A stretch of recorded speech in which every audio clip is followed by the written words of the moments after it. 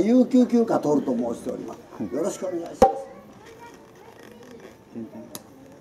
えーさえーさもう皆さんが切れてますよね。大丈夫です。昨日もらったばっかりでもちょっとぐらいなら竹馬2本乗って歩くと思います。はい。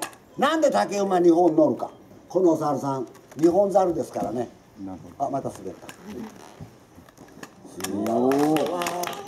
く言ってこんな言ったかってゆくんだねはい。一日一歩3日で3歩はいありがとうございました